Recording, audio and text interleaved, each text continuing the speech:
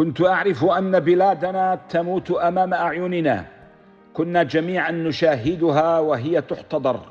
كانت المشكلة أن كثيرين منا كانوا قد حفروا لها القبور من قبل وأعدوا لها الأكفان. هل كانت بلادنا أعداءنا؟